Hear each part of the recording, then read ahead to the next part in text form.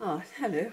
It's a week of firsts this week, isn't it? We've had our first really bad frost here, well, here in in um, in the Banbury re region. Um, the cars were absolutely frozen. I couldn't even get my car door open this morning, and he'd gone off early, so um, he normally does the cars for me, or my car. I got a little Mazda, and it was absolutely frozen. I couldn't open any door. So luckily, I'd taken out a flask of hot water, and um, that softened it after about. Well, it got the car's doors opening about 10 minutes, after 10 minutes of, of scrubbing down. And, um, and then I you know, started the engine. And after about another 10 minutes, I managed to um, clean out the inside of the car, which was very cold too, and the outside was, of course, still frozen. So I suppose it took me a good, just over a good 20 minutes this morning to get the car going, but that was okay. And then, um, then I was able to go off. And I wasn't actually late. I thought I was going to be late, but I wasn't. And, yes, another first today. I, um, it was the first, actually it wasn't first for everybody else. It was first for me, my first exercise session of, of, the, of the year. Um, I missed last week because actually I thought it wouldn't be running, but it was. So I missed that session. But anyway, never mind. It was fine. Back to exercising, and it was one of those um, uh, Rosemary Conley classes. I think they do nutrition as well, but I just go for the exercise.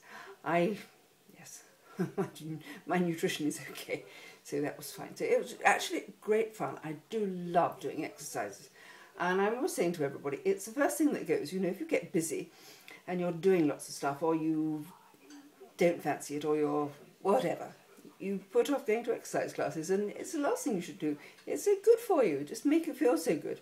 Just those little endorphins jiggling about inside, and you instantly feel better. So anyway, that was great fun. So um, and I went with a couple of girlfriends from the book club, so that was good fun too.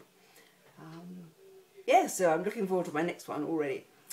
I used to line dance every week, and I loved it, and that was um, that was really very useful for all sorts of good reasons. So anyway, now we started another regime, so that's great. And last night at book club, yes, we discussed Mrs. Gaskell's Ruth, and um, I think it went down quite well with most people. It was, I found it quite a difficult, stodgy book to read. Very sad story. Um, I, I guess the heroine was bound to die in the end. She was too good, too beautiful, too lovely, and probably, I was going to say too innocent. I don't know if you can be too innocent.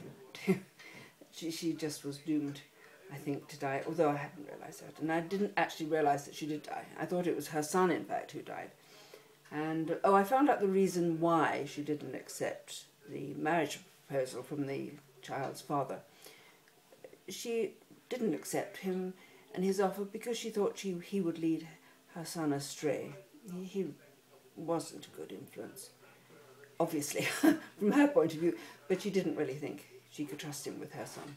Um, and her son was her darling. So it's a very interesting book, historic book, good book to read. I haven't read, I've only read North and South by Mrs. Gaskell, so I know, lots of other books to read. I've had there's far too many books to read. I, have come home with another one from our series, and another one's arrived from, from Amazon today. Um, yes, I do buy books from Amazon because I couldn't possibly afford to buy, you know, books from a, a bookshop every time. I just couldn't manage it. So, um, and I even go to the Oxfam shop. So our next book, which is um, Hemingway's *The Old Man and the Sea*, that also came from um, the Oxfam bookshop in Banbury.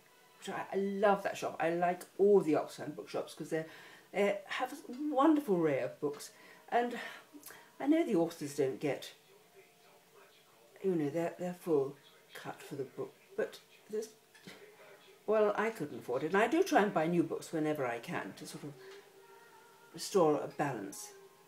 But you just, well, I just can't. And you just have to read. And you, you can't always get the books from the library. Or you have to wait for them. Um, it's probably not a good reason. No, I mean, libraries are wonderful too, and I think they should, great. And I've been going to the library ever since I was, oh, five, I think, so that's a long time ago. I'm not going into that. Totally unnecessary.